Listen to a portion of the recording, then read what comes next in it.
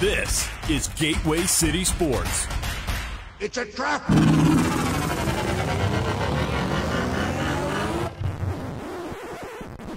Oh, I'm sorry. Did I break your concentration?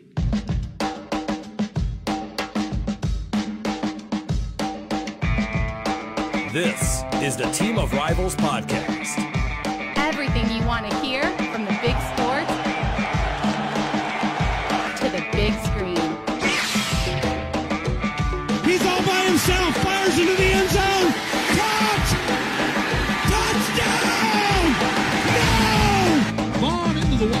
First offering. Just a bit outside. He tried the corner and missed. doesn't like you. I don't like you either.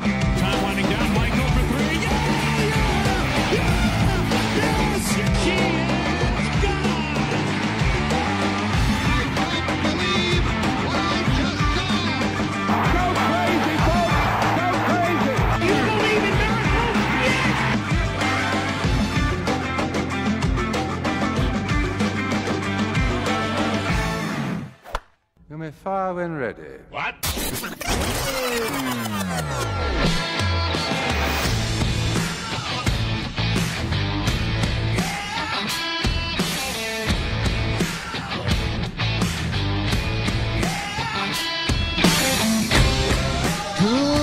Good evening, Cubs and Cardinals fans. It's Thursday, February 3rd. Groundhog saw his shadow yesterday. I think that's what it was. Anyway, this is the Team of Rivals podcast, proud members of the Gateway City Sports Network, where you can find great podcast and blog content. You can follow us online at teamrivalspodcast.com. We're on Instagram, Facebook, and Rumble at Team of Rivals Podcast, and we're on Twitter and Getter at Team of Rivals Pod. And for those of you watching us live, please hit the like and subscribe button. So why don't you right now, right now, I see you there. I see you watching. Hit the like button. I'm waiting here until you hit the like button. Do it. Come on. Don't just lurk. Hit the like button. There are three of you. I'm waiting for three likes. We're not we are not going anywhere until we get those likes. I'll wait all night. Oh there we go. Oh we my can God. get started now. See, that's what being a dad does for you. Be sure to ring that bell on YouTube and Rumble so that you can receive notifications anytime we post new content. Joining me for tonight's show, co-founder of TOR and number 104 in the 2021 edition of the Top Cards on Twitter, Ron Nuttall, permanent occasional guest host with a lot of distractions in the background, Elliot Dewey, and a special guest tonight, noted sports ball aficionado, and uh, completing the super quadrant of the of tonight's divorce cast, Ron's brother Scott.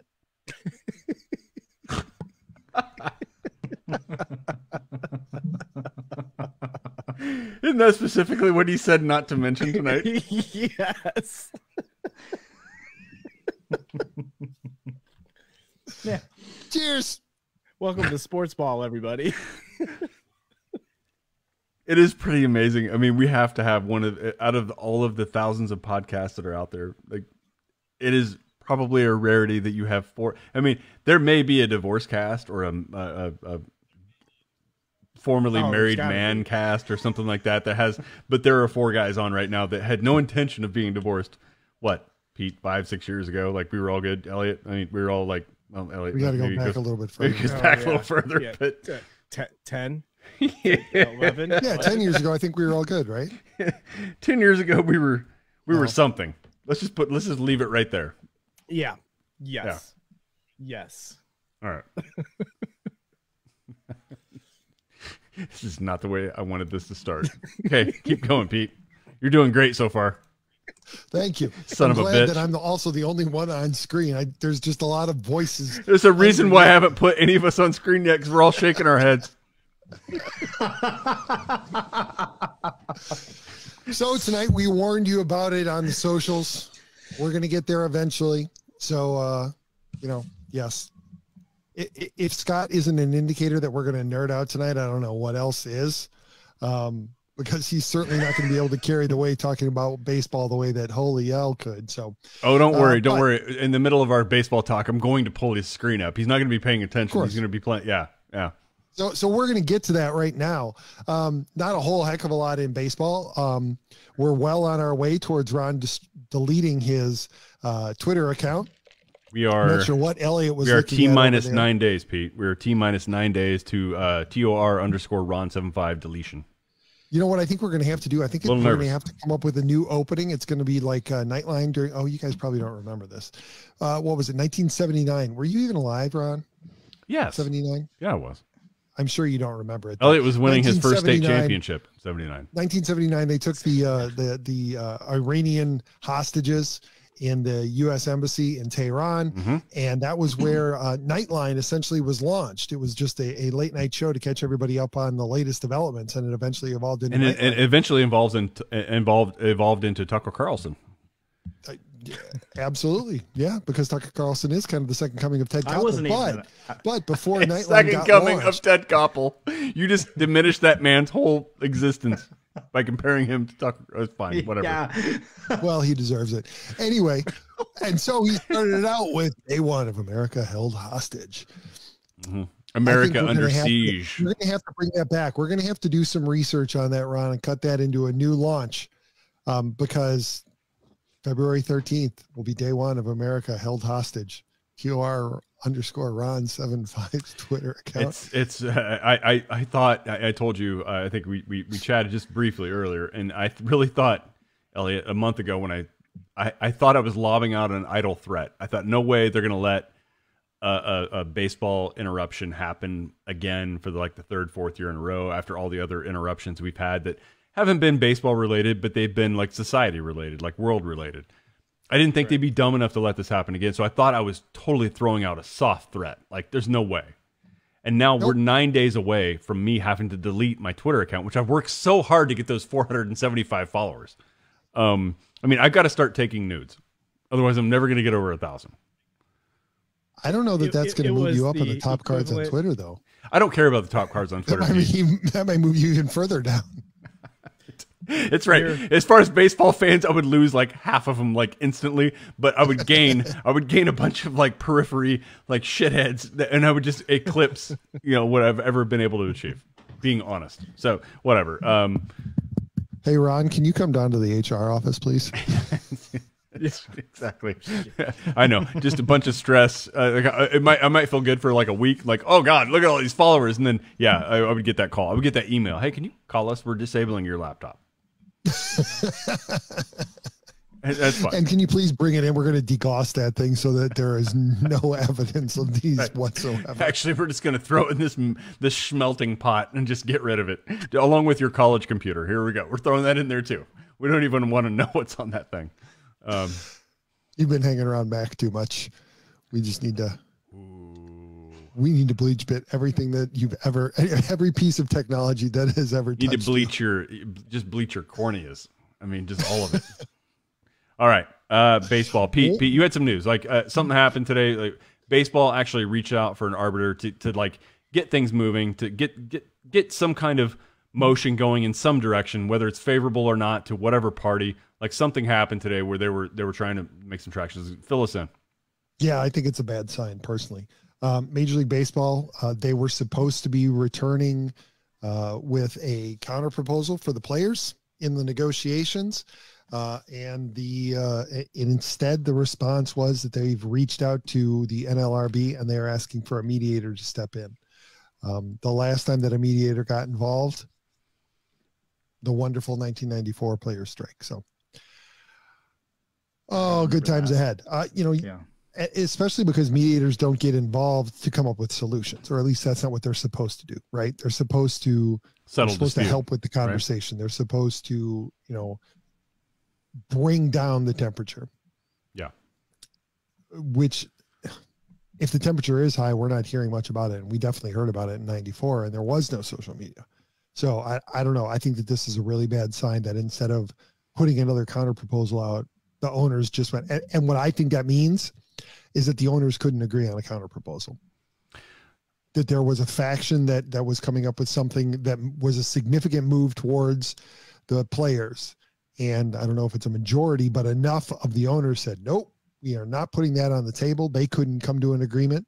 And so now here we are. What do you Uh, think? Do you think by if they're asking for a mediator now, there is no way that Ron is going to have a Twitter account in 10 days. That's fine. I'll have our I'll have our tour. Um, that's all I need, Pete. I only need us. I don't need me. Um, I know that that warms your heart. Um, I actually don't give a fuck about social media. I haven't for a long time. I, I I do not walk around with my phone glued in my palm all day, tweeting out every thought I have. And that's what you've got to do to get thousands of followers. You have to literally tweet out every thought you have every second of the day. You have to say outlandish shit and you have to be funny. Or you actually have to be an interesting character and actually do something that that um, benefits people. And, I, and I'll tell you what, uh, uh, a friend we have, Elle, who was just on last week, she actually uh, does shit on Twitter that actually benefits people, and she has she's she she has uh, uh, star power as far as, and she would hate us for saying this. She'd hate me for saying this, but she actually brings people a benefit, and she's actually a, an enjoyable, entertaining watch. She doesn't have to say outlandish shit. Me to get uh, a thousand followers, I would have to be extreme every day. I have to carry my Ron, do phone you- with me. And you know why she doesn't have to say outlandish shit and you do? no. Boobs. Oh well, she would tell you. She would tell yes, and of course, uh, I remember a, a famous quote. It was I had her and Buffa on. You guys weren't on that week, just her and Buffa, and she said, "How do you get guys interested in five pounds of fat? Throw a nipple on it." That was her. That was her answer to it. So she would probably agree with you on that. But uh, um, no, I, I'm I'm not that interesting. I'm I, I'm just a fanboy like all all the rest, and so I'd have to do extreme shit in order to get followers, and I'm not. I'm not capable of doing that. I don't have the time. I've got a house full of kids. So ain't happening. Ain't happening, man. Um, Pete, I, I think that by baseball reaching out for help for a, a mediator, I don't think this is going to work in their favor. I just have a feeling it's not going to. But what do you think, Elliot? This is bounce it to you. You haven't chimed in on this yet, but like, there's no traction. Like, the Players Association is not going to counter. Major League Baseball is not going to counter their their last offer. They're reaching out for a mediation. I, I just don't see this working in baseball's favor. No, it's not good. When I when I heard that they were bringing in a mediator, I just I just sighed. I was like, this is it's not going to end well for MLB because if if the owners are infighting and can't come to an agreement on a counter proposal to the players, then then it becomes a three-way war between these guys or a three-way argument. And it's just going to be a bunch of people trying to yell over each other. That's probably why they're bringing the mediator in. And this is probably going to eat in i would say at least spring training See, this is where I want to throw it to Scott and say, Scott, who doesn't love a three way? Oh no. Not this guy.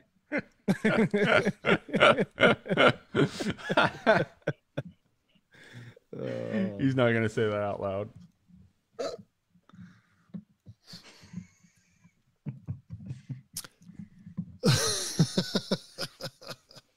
So yeah, This we is are vastly the inexorably shittiest moving podcast our we've way done so far. Go towards ahead. Not having base.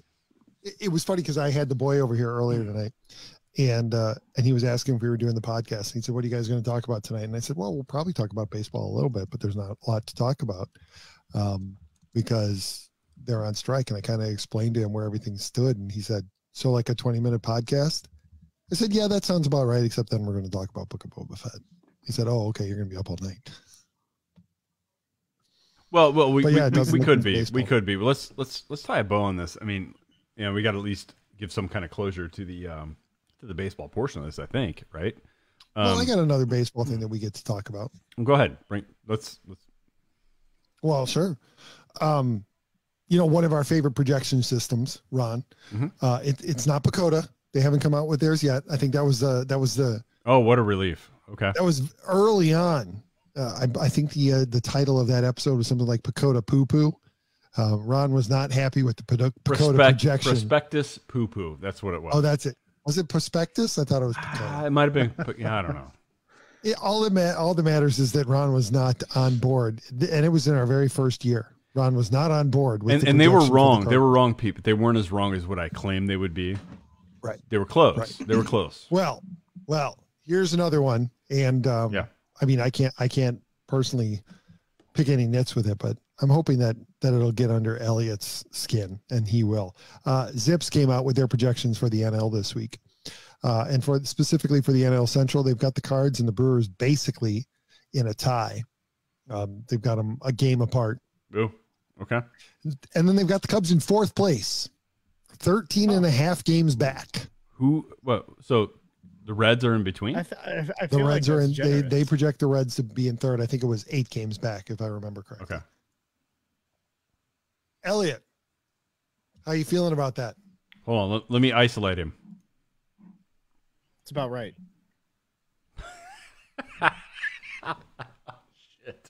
Did, did you want me to say, "Oh, this is bullshit"? I They're thought- not- they're yeah, we not thought- going to be that far behind. We we, we threw it to you, sounds and we like- thought it was going to be a lot more than that. But okay.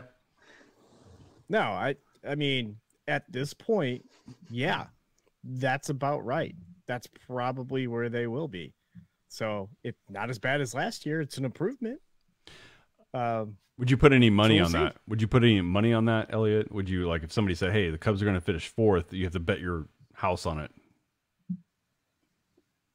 well, right now, I don't have that to bet. So then you would be- fine. make that bet. Go for it.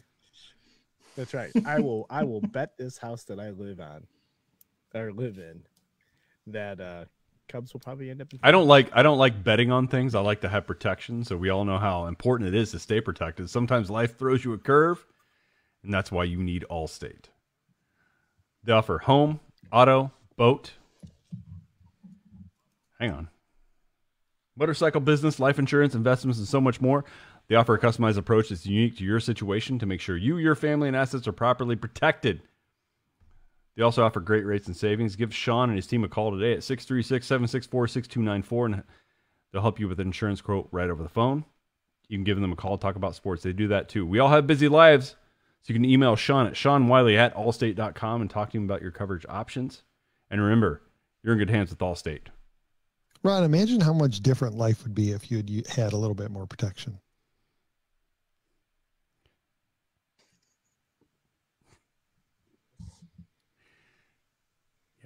Yeah. Uh, such a. I would say this. I, would, I, I think this is this is a better uh, clip, Pete. Uh, I'll just go ahead and. What a stupid son of a bitch.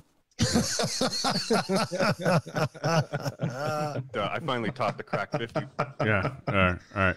Uh, okay. Uh, baseball is depressing. I mean, it all is. I mean, everything we talk about when we talk about baseball is is it's just been it's not been fun, guys. I've been beating the drum on this for years. I'm uh, threatening to throw away my Twitter account, which I've worked so hard I'm glad for. you guys are coming around to my side. What's that? Throwing away our Twitter accounts or giving up on sports ball entirely? We're, Just- we're, we're going to give up on depressing sports ball for the. We've only spent about 20 minutes of this uh, show so far talking about That's sports. how long my my son thought we were gonna last talking about baseball. So exactly. about well, right. your your son has good intu- intuition, and he's right because there's not that much, and there's not that much to be uh, hopeful for. And um, Not at this you know, point. I hope that. Look, I don't know who I side with here more, guys. It's almost impossible to determine like who, who's who's more in the right, who's more in the wrong. It's like every other labor dispute they've ever had. Like we're pissed off at both sides, and the state of the game, the popularity of the game, um, is waning. It's not the most popular game. I mean, when you find playoff games on TBS, hey, look, shit, man, writing's on the wall. Like you're, you're not, you're not, you're not all that. Fox won't even pick you up until you're in the World Series. So, um, or unless you're in the American League Championship Series, like NL Championship Series, Fox hasn't carried that for like what a decade. Like they leave that up yeah, to. I, perfect example of that. Uh, unless I'm mistaken, wasn't the NLCS when the Cubs uh, made their run to the World Series? Wasn't that on TBS? Who knows? I don't know. I mean, it's just like I think it was. like you have to like the fact that you have to hunt for uh league championship series in baseball and you can't just find it on major networks is like like what the hell what the hell's baseball become like what what are they doing um they've got a lot of it's, they, they got a lot of housekeeping before they start worrying about rule changes and everything else so uh mm, I, no, I think hon- honestly, Ron, I think part of the reason why they've been focusing on rule changes is because then they don't have to talk about the big stuff, right? If they can put stuff on Yeah. the table that they can all agree on, that's that's an easy win. so that they feel like they're getting something done, like the DH uh, or a bonus pool for minor leaguers. Now they haven't been able to agree on the amount, but they can agree on the bonus pool. Yeah. Um, the fact that they can agree on there being a draft lottery. Again, they can't agree on how many of the first three or eight picks are going to be part of the lottery, but they can agree that there's going to be a lottery.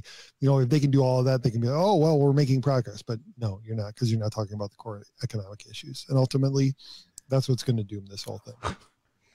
Night, Scott. all right. All right. Uh, we are done about this. I, I, don't want to talk about baseball anymore. It's all depressing. Uh, Bears, Bears of the Bears. Uh, any thoughts on the Bears? Okay, good. I'm glad we don't. Uh, let's go to something fun. Uh, Pete, I want you. I want you to take this one away. Um, you know my thoughts on how this. Oh shit! We got another guest joining us. Pete, just take it away. Take it away. We're talking about Star Wars. Talking about Book of Boba. Go. You want to talk? You want to piss in our cornflakes? Is that is that how you want me to take it away? No, I just we have another another soul joining us on the show. So, how's it going, Braden? He's not there yet. We're waiting. He's about to. You go ahead. Take it away. Uh, take it away. Episode six. We've got one left. I still maintain, as I did when uh, you and Ellen and I jumped on. Uh, I don't think we're going to get the conclusion of this battle. If we get the battle next week, I would be surprised. Um, but I fully expect the battle with the Pykes to not be concluded at the end of next week's episode. Um, this is something that's going to carry. I mean, look at we've clearly already started season three of The Mandalorian. And I kind of wonder if this isn't all part of a larger story and that really Book of Boba Fett is just season 2.5 of The Mandalorian and it's not its own story. We we essentially got four episodes of four, yeah, four episodes of Boba Fett's backstory. Right? We got we, we had a little diversion letting us know how Boba Fett got to where he is now. And now we're going back to our main storyline. Yeah. And so uh, all the people who have made the jokes about uh, about you know Boba Fett forgetting that he needed to be in his own series, no, I have a feeling that this was planned all along. Uh, well, yeah, it, it had to be planned, right? I mean, how how this is all rolled right. out, and I was, and I know, I, I if I could go back and listen to our uh, show last weekend, um, you know, I thought there's no way, like, okay, Mando said he wanted to go back and, and see Grogu again. Um, like uh, they're not gonna they're gonna do the Luke Skywalker thing this in, in the middle of book Book of Boba Fett like as it's wrapping up. They're not gonna do that. Like that's gonna be something that's visited in Mando season three. I, I, I firmly thought that, and like I was I was I was surprised. I'm like shit. Here we but go. You were right. You were right. We're in Mando season three. we are. We didn't know we are, but we are. Right. Uh, yeah. um, in the middle of Book of Boba Fett without it being announced. Um, These last two episodes have been Mandalorian episodes. This this episode six Yeah. was so, sorry, chapter six was so much of a Mando episode that Boba Fett showed up. He was on screen for a minute and he didn't say a word. So kind of a throwback to the original Boba Fett character, anyway, from Empire Strikes Back. But still, they finally figured it out after four episodes. Like he shouldn't talk.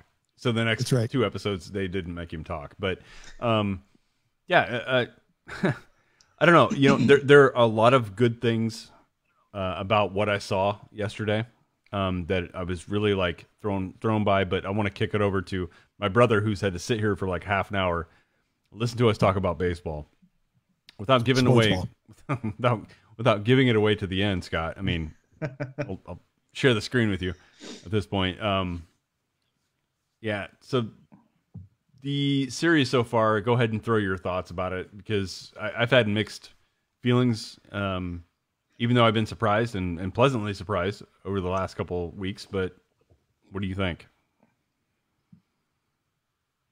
Um, up until the last two episodes, I just didn't. It, it's kind of like, it's kind of like Solo. Um, I don't hate it, but I, I don't see why it's necessary. Uh, I don't see why it exists. Uh, I mean, there's like a lot of backstory on Boba Fett that I don't really care, and I don't think a lot of people care. Um, Okay. but yeah, these last two episodes, uh, since it's led into Mandalorian season three, like, great. I like that. This is gr- it's it's it's much better. Um, I don't know. There's just Boba Fett was such a cool character, and I, I I don't know. There's just like stripped all the mystery of from him. So I don't know. Yeah. I'm just I mean, and, and so Pete- far it just seems like a huge letdown.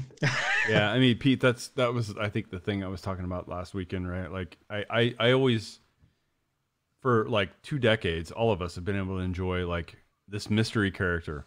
Like we only heard a few lines, mysterious, but he looked really cool. But now we're getting uh, we're getting a backstory. We're getting like the details filled in. And and do you feel satisfied with with who you saw in 1980? You know, I kind of wonder. I, I, was thinking about that after we were on with Al on Sunday, um, and it crossed my mind at some point this week. You know, I wonder if part of the reason why people aren't so disappointed with it. I and Scott, I absolutely agree with you, and we talked about it on Sunday. Um, it was a mistake they made with Solo, and it's and it's something that we're seeing here. You can go ahead and you can tell us why Han made the Kessel Run in less than twelve parsecs, and you can even briefly show it and you can show us how he and Chewie met, and you can show us how he won the Millennium Falcon. We don't need a two-hour movie spending a half hour on each of those storylines. We don't need to go into that kind of detail, and they've kind of made that mistake again with Boba Fett. Um, but to get back to the point, I, I was kind of thinking about it this week round, and I thought, you know, maybe part of the reason why people are having such problems uh, with the story that they've been telling in the book of Boba Fett, specifically the story about Boba Fett, is that it runs counter to the story that we've been telling in our minds for 40 years. Mm-hmm. Right? We made up. I mean, yes, there were comics and there were books and stuff that Boba Fett was in, but we made up this whole story about this character who we heard very few lines from. Right. In between the years of 1980 and 1983. And so all of a sudden we had concocted this backstory of this of this very taciturn um, feared uh, bounty hunter and maybe that wasn't the story all along.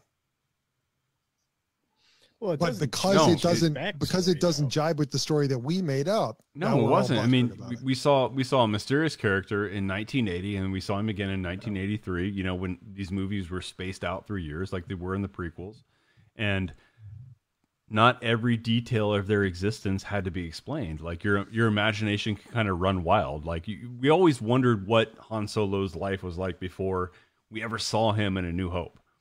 Like he was wild, you know. He he he he fell on hard times. You heard rumors that he he was an Imperial pilot, but you know he was um, he he uh, you know uh, went AWOL with the Empire and became a smuggler. Um, that kind of stuff is like to let people's imaginations run wild is kind of fun. Um, to, to need to explain every second of it I don't know. It, it, does strip away some of the mystery, and and with Boba Fett, it does that too. Um, but I will say this: like, it didn't start with this with this series. I mean, guys, it started with um, Clone Wars. they, with with uh, Attack of the Clones. I mean, they started stripping it away slowly. So it wasn't.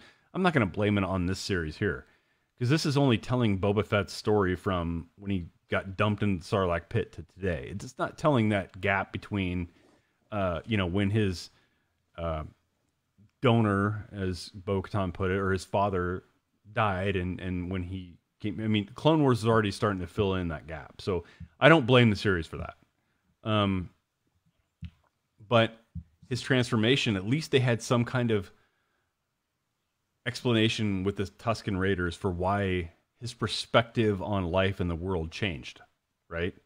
When he he was actually taken in by not not yeah. cloners or not somebody that needed something from him or not somebody that was going to pay him money it was a culture it was a people who who accepted him as one of their own so his his perspective on things have changed um that's that's kind of the twist here pete and that's that's the difference and that's why i i i don't you know initially i was like i don't need this but yeah it's they've made it a little different now have i been disappointed post Tusken Boba?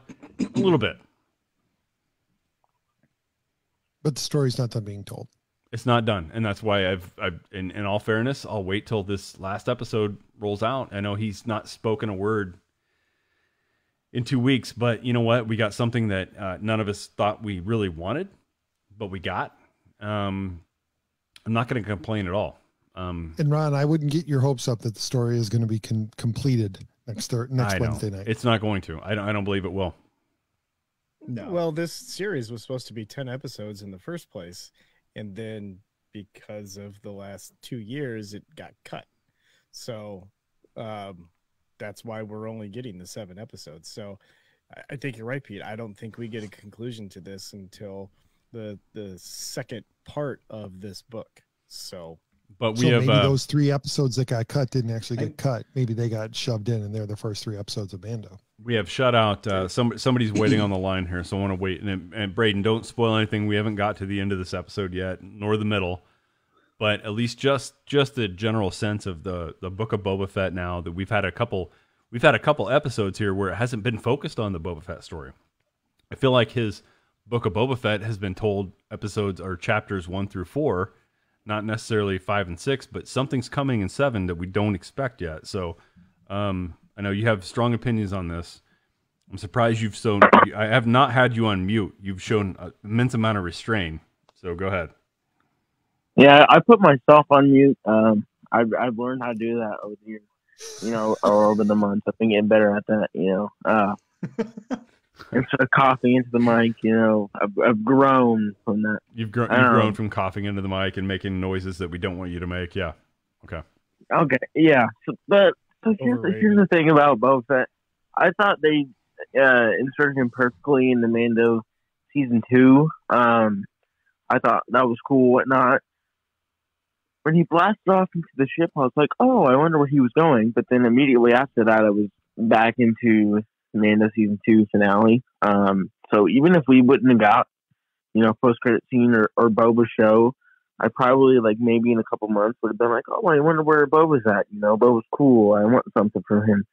But I don't think it would have been the number one thing on my mind. Um, I, I agree that what made Boba great was uh, the mystery part of him.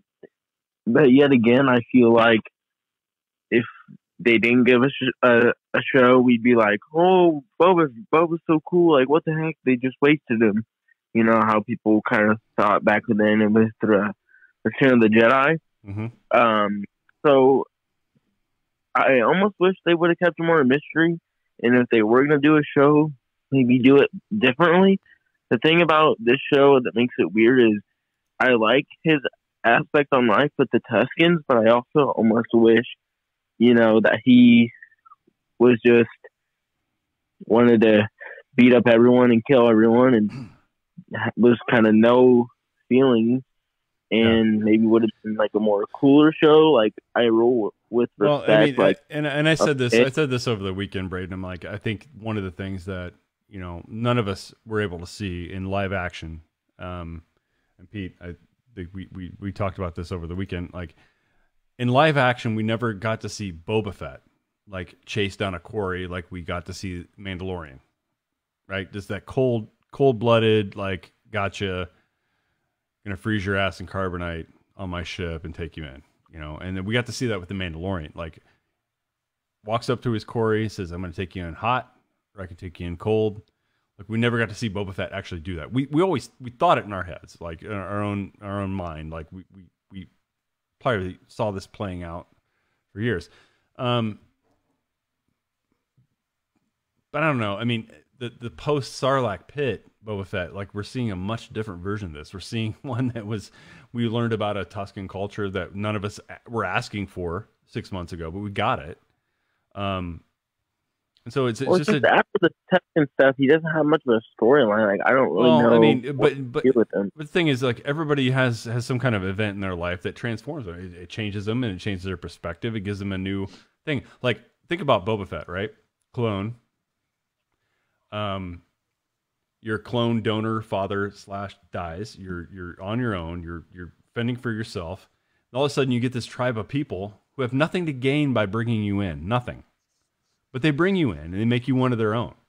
So for the first time in his existence, he's actually brought in and made a part of something that they had nothing to gain by bringing him in, right, Pete?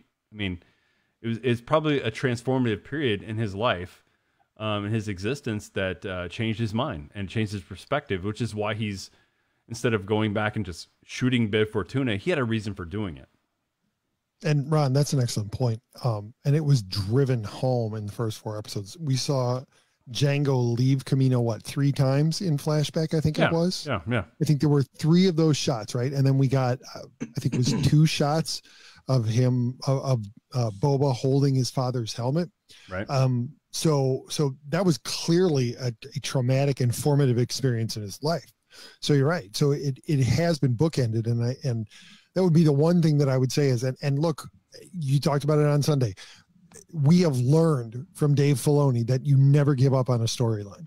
No matter how inconsequential and frustrating it may be, Filoni, unlike J.J. Abrams, will tie up the knots. He will Oh, tie up the loose ends. Please do not exclude Rian Johnson from that.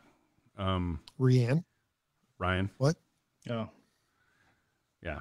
No, but I, I, I'm not. I, I'm not ready to give up on Boba Fett's storyline because I don't think that it's done, and I don't think that he's going to end up being a minor character in this Filoni Favreau verse. I think, I think that there's a good chance that what we discussed on Sunday Yeah.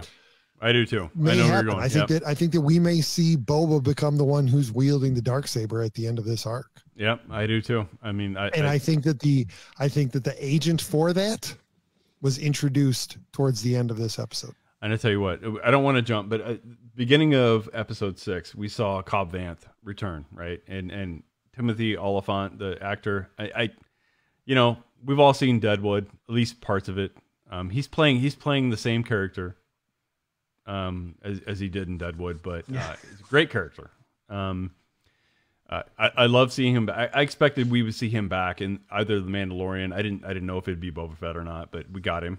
Um, Oh, you had to know we were going to see him again in some capacity once we once we ended up on Well, Tatooine. in the last episode, uh, uh, you know, uh, Mando said, "Hey, I can help you out with that." I clearly expected him to go recruit Cobb Vanth. Um, yeah, You didn't think it was going to be the Jawas that were going to step up to the plate? I think the Jawas are going to step up. I don't think that that flyby and their acknowledging him flying by was just window dressing. I think the Jawas are going to show up and be a part of this thing, man. With that big great. ass Hmm. krayt dragon skull on the. My son loved that man. big old krayt dragon skull, like it's some insane hood ornament on there. right? That's telling all the other Jawas, you got nothing on us. Yeah, you may have knocked over C3PO, but we killed a krayt dragon. Um, All they need is lifts. so we we uh, Yeah. let's keep going through the episode here. So we we saw Cobb Vanth in the beginning. Um, I was, I was actually you know glad to see him, but then we got uh, we got Mando uh, landing on. I don't know what the planet is, but it was Luke Skywalker was clearly there. Um, as soon as he landed, I don't know if Luke Skywalker left, uh, you know, the Mando a business card when he when he picked up Grogu at the end of season two. But you know, somehow uh, Mando knew what planet they were on and, and arrived there and uh, met R two, and we saw the little uh, like ant bots uh, making a temple or laying laying the stones down to make a temple or whatever. But I don't. Okay, that's a small detail. I'm sure that was the same. which I read that was the same temple. That was a, yeah, that- I yeah, guess that's I the same temple going. that uh, Luke was training, um, like the Knights of Ren, burn it down and all that. It's the same Yes. temple. Okay, so according to Wikipedia, Luke's temple was founded on Yavin. So that would have been That's that's what I was wondering if it is That was Yavin, really 'cause Yavin? It very it very much looked like very similar. Yep. Okay. Okay. uh and and um Ron, come on. He's a bounty hunter. He doesn't need a business card. Yeah, you're right, You you're think- right. You, you think that he doesn't have um Grogu's chain code or whatever program in, right? He he had that he had that tracker for the whole the entire first Yes, episode fine, fine. I, I'll, of the yeah, Mandalorian. I he can find concede. Grogu. I concede. Okay, I concede. He can. He. and and it, and it actually is backed up because when he got on, he was flying over. He was just flying over, and his scopes were completely dead. And then all of a sudden, there was a beep, and there was a red dot moving on the scope. All right, fine. So but we saw as soon as he landed, we saw R two. We saw the droids like you know carrying stones, building the temple. I kind of I kind of knew where that was going. That was that's Luke's temple. That's likely the same uh, structure or structures that uh, show up in the sequel trilogy that Kylo Ren destroys. Right. Um, I think. Yeah. Maybe. Um, yeah. So you know we- we got to see that part. That was that was great. Then R2 shuts down, which is kind of curious. Like, was he trying to just conserve power? Was he recharging? Was there a, like, you know magnet recharging thing there, where you know we set our phones down. I, I'm not really sure what ha- what, what was happening in that part. It was he, he, he stopped on a he, he stopped on a MagSafe charger. yeah, I was kind of wondering what was going on, but I mean, clearly he was conserving power. He knew that it was going to take a while. He he told the androids to build Mando a bed so that he could take a nap too. So clearly, a significant amount of time passed there. but if you guys can, I want you guys to talk about like just the, you know, once we saw Luke. I mean, we spent more time with Luke here than obviously in end of Mandalorian season two, and I, I, I, I even really, last- I really didn't the Last think. Jedi. I really, yeah, Scott. I mean, out, out of the whole sequel trilogy, we spent more time with Luke. I feel like here, uh, quality time, Pete. Like, like this is this is what we've wanted to see since like 1983. Like, And I got to tell you, man, the, yeah, I'm gonna I'm uh, gonna turn it over to you guys. You guys talk talk about the whole like training, everything, like all of it. Oh well, we can get into that, but I just want to talk about the technical aspects. Like, you know, it was heavily discussed when Luke made his appearance at the end of season two. Um, there was that uncanny valley uh, with Luke. Oh, this, this was so incredible. Like the visuals on this were really, really It- good. This it was yeah it was it was a huge improvement over the end of season two. And i did read i guess they they used a different stand-in uh, for luke skywalker a different actor. Did they? um, but man i don't know what they did in the last year. You know what i mean? The, that that 12 month gap uh, in technology just really jumped because well, I think I it, read it or heard somewhere that they crazy how good it was. they contracted with somebody who does deep fakes on the internet. Um, and they had been working with him, but I think they didn't have him on board in time to work on Luke's appearance in Mandalorian. So you would assume that whatever it was that he contributed, whatever he brought to the table, I mean, that's that's what the difference is. The audio, on the other hand, was weird. I mean, I know that Mark Hamill got in the sound booth and he's the one who did the ADR. That was clearly his voice, but there was something that they did to make it sound younger that just didn't seem right. I don't. Yeah. It didn't It, it- seem. it, it made it softer Yeah, they- because his voice has changed over the years. yeah, but also So- it just it didn't it didn't sound. You know what it was Uh, for me, right? When you record a film, um, the sound guy always asks everybody to hold for tone. When you get done shooting and you're done with the scene, it's like hold for tone, and everybody is supposed to just be quiet. And they literally record the noises that the room makes, and then they lay that under so that it doesn't sound like a sterile environment, especially if they need to bring the actors in to do ADR, right? Because they missed a line or whatever.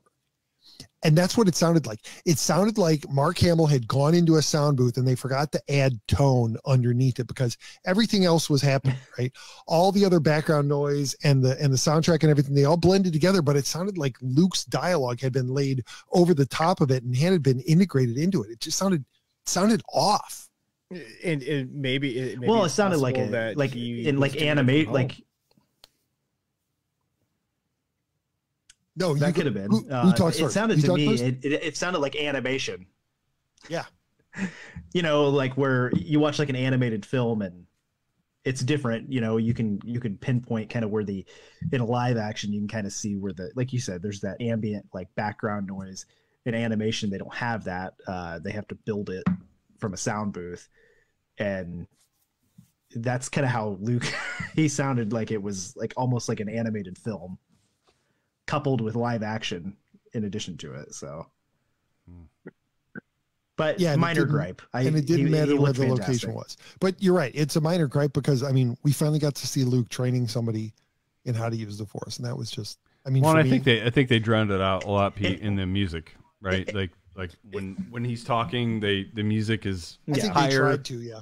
I mean, but I say that they did a much better job of making him believable as being Mark Hamill, the character on screen. Visually, right? yes, Yo, absolutely. I mean, I mean, just leaps and bounds, and that's technology. And like, you know, we go back to Rogue One and Princess Leia criticism and Moff Tarkin. You know, people had issues with the eyes and everything. Like, my God, folks, let's let's give people a break here. I mean, this is all new technology. I mean, these Yeah. they're all on the uh, uh, cutting edge of of making this stuff look real. Like, and as humans, we recognize human faces and expressions and every every nuance you can possibly imagine.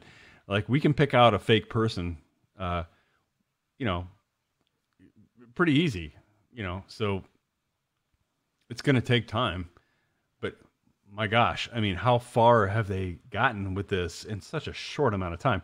Luke looked great in this episode. He really did. Yeah. And I want to go right to the end because I know we're we're getting you know we're getting close to an hour here, guys. I mean, like I, I got to tell you, um, as many great things happen in this episode, as much as they threw at us, I was I was I was surprised to see Ahsoka show up in this episode. I I didn't know if I really needed her there, but she was there. You know, talked Mando uh, out I of. was I was kind of let down, honestly. yeah, I, I I'm let down by your being let purpose Other than to but say go ahead. like, hey, this character still exists. Yeah. What you want Well, her like- dead? She didn't serve a purpose. Huh? What you want her dead? No, I, I, no, no, no, no. I just felt like we were kind of robbed of her and Luke meeting for the first time, which maybe they'll do that in her show or they'll do a flashback or whatever. But it just kind of felt like, man, like that's a huge moment, you know, like yeah, she's you- meeting I- the, you've got a son of her Scott. former master, and it's kind of like. So I just felt like they kind of gla- they kind of glazed over that. Yeah, I'm, I, I get what you're saying. Like, uh, look, Luke, you know the whole the whole story of Luke and and his father. Like, your apprentice, hit, like Anakin's apprentice is is here. Like, it should be a more significant moment, right? She's sharing memories of and teachings of what uh, Anakin taught her when he was a Jedi uh, before he turned, and now we're just getting this stare, this awkward stare. Will I ever see you again? Um, yeah, it's yeah. I don't know, Pete. What do you think? Like, I well, we, we we've so always we've always of thought that- of this, right? It- we knew Ahsoka survived. We knew she was she Right. lived beyond a certain point. We always thought like if she ever had a conversation with Luke, would she ever share memories and teachings of Anakin? You know, the things that Luke didn't get from his father. But this is his father's apprentice. She spent so much time with him. She had to be attached to the hip with him. Uh, but I wonder if if if it's that attachment that that is keeping her from more fully exploring it. And and you're absolutely right. I mean, you nailed it. I I wondered what she meant, and my son said it too. Like, and, and I think everybody's picking up on it. What the hell did she mean when she said so much like your father? Right? Is that a good thing? Is that a Yeah. bad thing? What did but she that's mean? one of by the that? because but that's one of the things we wanted to hear though, right? Like sure. Ahsoka talking to Luke, you know, just Yeah. seeing him look off in the distance, like you remind me so much of your father, or you you you're you're you're teaching this way, you're you remind me so much of your father. Like we wanted to see that. And I want to I want to hear so much more of that conversation between her and Luke about what he taught her, what they went through. Like he's missing so much context of of his father, the story. And and Ahsoka has so much of it right there. I You know? think what Ahsoka uh, is, Anakin didn't know if Ahsoka's heart was in it. I think she was talking about herself. I think she was talking about Anakin wasn't sure about Ahsoka at the beginning. And just like uh, Luke wasn't about Grogu. I think that's what it was. And I get what you're saying about, um, you know, Ahsoka sharing things, you know, I guess like memories and stuff. Maybe like old, like training things or videos or something that she could have on some whatever. But also, I don't think she'd be like, here, here's this training video of your dad. You, you totally need training. Here's this. Tybo video. I- your If, dad. if I was Luke, I would be pretty offended if, if someone was like, "Here's a training video of your dad." I'd be like, Yeah. Yeah, your dad used to. Your dad used that, to sell. You, yeah, your dad used to sell shake weights. Here you go. Um, you know, the, the, it's all it's all uncomfortable and stressful. Pete, you know what else is stressful? Uh, being on a podcast with three other guys who are also divorced. Yes, that's that, that's pretty bad. Uh, the other thing is bad is when even when you're divorced, you have to get a car. Oversaturated market. Yeah, that's right. you have to buy a car. And that's why we all know that's stressful, but it doesn't have to be. Fifth Street Motors, located in Pacific, Missouri, will help you find the vehicle you need no matter what brand. Fifth Street Motors giving you the best price on a pre-owned vehicle will fit your budget. Give Brandon or Don a call today at 573-259-1306 and tell them Gateway City Sports and a bunch of divorce guys sent you. And that'll fit your budget both pre and post divorce, right, Ron? I don't know. My son's on here, so he might have something to say about that. Braden, don't. Nobody said it was going to be the same car on on those budgets, but it could fit your needs. I don't know. This is All money I well is spent, guys. Thank you, Fifth Street Motors. He, all he's asking is, "Hey, Dad, the the Street Motors ad. What kind of car are you going to get me when I graduate?" That's what he's thinking right now. Yeah, I'll hit up uh, the guys. All right. Uh, I tell you what. Before uh, we lose track of this, I just have to point out, like, how awesome is it the mirror, like the parallel of Luke with Yoda on his back being trained, Mhm. and now he's training a small creature, same species, on his back. I, I think that's And- pretty and cool. It looks like in the same backpack too. Yeah, yeah, yeah. No, no, it really does. And, yeah, uh, I, I'm I'm like actually like what if I mean I I want to know I want to know those those the min, minutia scenes of like Luke being like oh shit I got to go back to Dagobah and get that freaking backpack. So I don't know what else it is. Yeah. and then him being like, "God damn it, where'd he put that thing at?" Such a well, pain- at some such a point, you pain in the think ass, He had yeah. to because of the end. yeah. Um, So You know, I, I- got to tell you guys uh, because, I, and I think that this is going to end up ultimately being the the larger lesson of it, right? Because attachment came up a lot, um, and I know that some people were um, a little put off by it, like that Luke had not learned the entire lesson, right? He's warning Grogu against attachment and everything, but that was the lesson of Luke, right? Was it was his attachments to his friends, it was his attachment to his father that saved the galaxy. Um, but I was watching the show tonight with my son, and uh, and as we're watching Grogu making the choice, he said, "Oh, I'd take the lightsaber." I was like, "Really? You would?" He's like, "Yeah, I get to be a Jedi." I said, "You realize that means that you would never get to see me again." And he stopped and he turned and he looked at me. He was like, oh, fine. "Oh yeah, the Mandalorian is his dad." and all of a sudden, that choice wasn't so easy for him. Yeah. And I kind of wonder, I kind of wonder if that isn't going to be the, the bigger lesson here, right? Is that is that maybe the Jedi weren't always right, uh, and that's partly what led to their downfall. Is attachments are okay for a Jedi, but you need to first learn how to put away those attachments before you can pick them back up again. And that that's what Luke had to learn, and that's what Anakin never learned. Anakin never learned to put those attachments away. He held on to them until it ultimately consumed him and brought him over to the dark side Yeah. Yeah. so the- maybe that's what so and, and you know maybe killed the that's the, maybe that's the best of both worlds women. where grogu puts aside those attachments Mhm. or or he embraces those attachments he goes off and he adventures with with with din well, and then eventually he comes back and he becomes a jedi Well, and everybody, uh, this choice was put in front of him, right? And and obviously we know in the sequel trilogies, like there's no Grogu Grogu to be seen, so um, we all assume that he chose the Mandalorian, right? He chose the shirt. Um, maybe, maybe not, but um, yeah, um, it's it's not an easy choice. I mean, think about it. Like he, uh, I don't, I don't know. I, I want to choose for him. Like, I, I, like all of us want to choose for him. Like we want, we want him to follow Luke. Some of us want him to uh, go back to the Mandalorian because that's been the, not the Disney moneymaker. It's not how we're thinking about it, but it's like that's the emotional like attachment we have. Like we all understand how, you know, Din Djarin, uh, you know, found this young child and feels like a father figure and can't let go. So much that he goes back and visits after he's fulfilled his obligation to return him to his kind. So it's hard. It's hard, man. We've all been there. We've all had to make this kind of choice. are you crying scott I Is want he- him to go with Hold on. i'm yeah, no, I'm getting pretty choked up Is he over crying?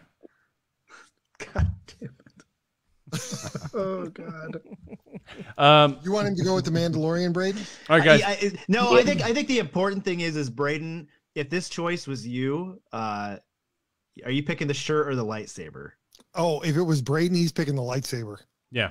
you want to spend the rest of your life with Um, your brother Absolutely. He's like, he's like, Dad, I'm out. that's easy Sure. Uh, guys, uh, Uh, we, we got to wrap it up hold on. here. We, we got to wrap on, it up whoa, here. whoa, No, whoa, no, no, no, no, no. Hold on. No, I want to go Give back. two no. minutes. No, nope, nope. Because you forgot one of the most All right, important things in the entire episode. All right, so hold on. Let me get my Luke stuff out of the way real quick, and then I'll go into right. something you, All I right, guess, go ahead. complete. Go ahead. Go ahead. Do it quick. Do it quick, dude. Uh, okay, running so basically, long. I want I want Grogu to pick the shirt um, because if the sequels are in the Filoni Dave universe or whatever, I mean, what's going to happen to Grogu with the whole, you know, Kylo Ren thing, and will he actually ever be fully trained with that? Who knows? Um, he could end up getting being like a Mandalorian Jedi anyway, maybe. Um, but you guys also forgot about Cad Bane. How sick No, was that? no, Uh, no, no, no, no, no, no, no, no. I was get. I was going to go there. I was going to go there. Like You next. Say, we gotta wrap it up. I know, but That's that's what what I I was think. saving to the end, man. Don't jump the gun. We j- well, wrap it up usually means outro. We're done. no, but we no, got no, no, no, no, no. Let's let's go. Starting it right now. All right, uh, Pete. Uh, this is if there was one thing that I, I have gone back and watched the most in this episode that happened just like yesterday. I have went back and watched the Cad Bane scene at least a half a dozen times. It was so good. Uh, so goddamn good. All of it. I mean, and, and, and I just want to say this real quick, and then Ron, you can take it over. But I always thought it when I was watching him on Clone Wars. I was like, that guy is like Cad Bane is so inspired by Clint Eastwood. Mm-hmm. Clint Yeah, Eastwood's yeah. Man with No Name. Totally, But then when you saw him on the horizon and here, it all came to fruition. Like it, it all culminated in that moment. Him just walking in out of the desert, tall, skinny guy, long coat, flat brimmed hat. Mhm. It was the alien Clint Eastwood. I was so goddamn happy. It was it was it was so good. It was one of the best. And I tell you what, guys, one of the, The only thing that they missed was the toothpick. Yes. Yep. I I totally agree, Elliot. But with those teeth and a real human actor, Yeah. maybe a little difficult. There was, but there, was, there was one thing that was missing, and I know that it was Corey Burton, and and I'm, I'd be curious to find out why they did. But there was a there was a serpentine element to Corey Burton's portrayal in the uh, in the Clone Wars, where it, where there was more of a s- uh, more of a hiss to Yeah. his voice, and that was absolutely missing in here. That was not here, but that's Doesn't matter. That was Doesn't matter. so unbelievably minor. They they absolutely nailed well, it. He was so especially especially when he's confronting a established actor in in the universe as Timothy T- Timothy Olyphant, like. Timothy Olyphant at the beginning of this episode was a gunslinger and took down three of four Pykes and let the other one go for for a statement. And at the end here, uh, about tor- that. towards the end here, um, you saw, and when I saw a figure in the desert, I thought, "Oh shit, is this this female Tusken?" Initially, like she's showing back up. He told the other people to go back in, and as, as, as he got closer, I'm, I saw the rim of the hat. I'm like, "Oh fuck, really?" Is I started ta- I started tapping my son on the leg. I was like, "Cad Bane, Cad Bane, Cad I know, Bane. I know, He's I did- dad. You should get that looked at." Yeah, and I didn't have anybody I was so around me. I didn't. It was early morning. I didn't have anybody around me, or it was afternoon. It was late, late at night. Braden saw it before I did, and he was. I was telling him, "Don't spoil it for me." But I saw it, and my my, my leg my leg was tapping. I'm like, "Oh shit, it's Cad Bane." It's Cad Bane. You know, and it's a it's an animated character. Like I didn't care much about about him before. I knew he played a significant role in the Clone Wars. Cool character, bounty hunter, ruthless, whatever. Like dime a dozen in the Star Wars universe, right? When you see him in live action, all of a sudden, like wow, they did such a great job introducing him, walking in from the desert, like you know the heat waves, like you can't really make out his face because the heat waves are happening, and all of a sudden when he says Cobb Vanth, I'm like, oh shit, this is great. Uh, It was my, one of my favorite scenes in anything they've done post Disney by far. And and you know what, Ron? And this was something that we talked with Elle about on Mm-hmm. Sunday. If you know nothing about Cad Bane, Still a after cool this scene. episode, eh, right? After this episode, you know this is not a guy to be messed with. Yeah, yeah. And to her in, in that and to her point, three minute that was a great introduction. And to her point, Pete, like they don't if they don't know who he was, but they saw him here, oh, I have Disney Plus, so I have Clone Wars, and I can watch shit about Cad Bane. maybe. It, it, and it also it it gets me excited for the introduction of other characters from the animated series So Well, it's Filoni. He's getting everybody. He's he's Yes. going to get everybody from the Clone Wars that's significant. He's going to get them in. I'm waiting for Hondo, a live action oh, appearance Oh, of yes, Hondo and Naka. absolutely. Just drop off that dough because he's coming next week. Although they pulled it off IMDb, but it was there long enough. I should. Aye. I, I put it on the Twitter. You guys saw it. Pete, he's coming, man. We're gonna see. We're gonna see the old I- grumpy. Get ready. Chewie. Uh, I don't think Cad Bane's though. I don't think he's working with the Pykes. I think uh, Oh, somebody. working he, Oh yeah, He's yeah, with he's got a thing going on. But I, I hope we get a Boba uh, Cad Bane rematch next week because uh, I don't know. The one we never saw in the Clone Wars, right? Well, yeah, and we that's never what I saw was it. alluding to earlier. I think we absolutely get a Boba Fett Cad Bane, and and this is this is how I think Boba Fett ends up with the dark saber. Yeah, I Cad think you're Bane right, Pete. Yeah, it- defeats defeats the Mandalorian. Din Djarin does and not then want Boba that thing. Fett defeats Cad Bane, and because of that, he's able to pick up the dark saber and wield it by Creed because he defeated the one who defeated the Mandalorian. Right. Yeah. And Din Djarin I has honestly never think wanted anything to do with that goddamn saber anyway. It's like Nope. a it's like a bane of his existence. A cad Yeah, it's a bane. curse. A cad bane of his existence. There you go. That's right. I just can't wait to see how they work, uh, how Robert Rodriguez and Favreau and Filoni work in Han All right. Any final thoughts, Scott, before we kick you off this show? Okay, very good. Uh, Sports ball. Very good. Very good. He has nothing left to say. Pete, get us out of here. Like it's- Well, wait, before I get us out of here, let's throw it to Elliot. He's sitting there with his arms crossed. He's got Ah, figure Christ. skating on in the background. You know that he's just dying to turn and watch it. Yes, I've seen it all night long, Elliot. what about curling? Uh, I don't think that it's that Uh, this that was early. on the other day. Oh. What has has have the Olympics started? Yes. Oh, okay. I don't care. Elliot, your final thoughts on uh, on this week's episode of the Book of Boba Fett, not of this podcast, because we know what this shit is. honestly, I, I think that the, the Cad Bane scene was probably my favorite scene in the in the the last episode. Um, super excited to see how this decision affects everything moving forward with maybe getting more Luke or not because uh, that's got to be an expensive thing to do with the the facial recognition and, uh, the deep fake.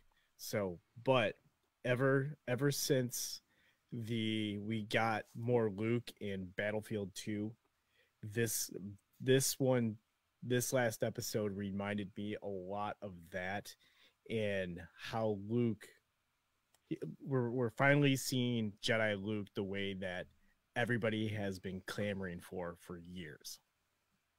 So fantastic. We got and we got it at the end of uh, Mandalorian uh, season two, right? Like we got the we got to see the Luke fight, and we got to see the Luke we always wanted to see. But now we're getting bonus Luke, Yes. which none of us needed, but we got, and I'm I'm I'm thankful for it. And it, it did a much better job of the de aging, the uh, voice, uh, The and- deep and- fake. yeah, yeah, and deep fake. And at Pete's point, I think I think they tried to mask it a little bit with the music and the score that was going on at the time. But you know what? That's like, what are we complaining about? Like, it's gonna get. We all know that it's gonna get better, right? Yep. We saw Jurassic Park in 1994. Imagine what they could do now. Like, it's all gonna get better. It's all gonna get way better.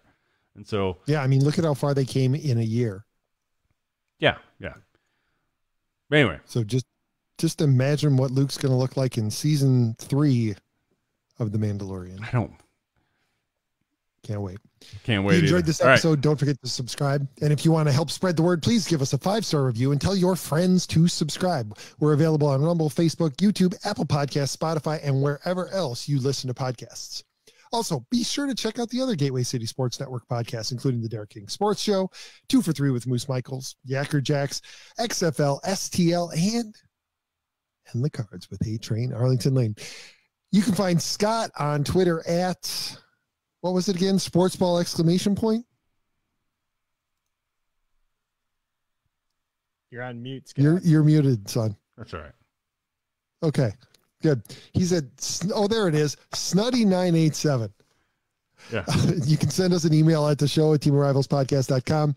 You can find Elliot on Twitter at, T O R underscore Elliot. And you can find Ron for fuck nine more days on Twitter at Yeah. Yeah, my, my my time is winding down. I'm I'm actually kind of nervous now. You can find me at uh, tor underscore ron seven five. But I tell you what, if it goes if it goes to two thirteen, this labor dispute is not uh, settled. Um, I'm deactivating the Twitter account, and you only find me at uh, at tor what Team Rivals Pod. Team Rivals Pod. That's it. Check it out. Not All sure right, I'll care. We'll see you guys uh, next week. We'll talk some more about, uh, well, the li- complete lack of progress for Major League Baseball. And uh, we can geek out for, for uh, episode seven, final episode of the Book of Boba Fett, at least of this season of the Book of Boba Fett, Mhm. and start looking forward to Kenobi. Mm-hmm. Hey, Outstanding. y- you got. We're, we're gonna have some Star Trek to hold us over until then. I'm sorry, what? Star, Star Trek. Picard. Yeah, we're not listening. Huh? yeah. All right. Hey, got to go full nerd. That's right. You know, you never go full nerd. God, not touching it. All right, guys. Uh, love you all so much. Talk to you next week. Bye bye, everyone. Uh, I finally topped the crowd.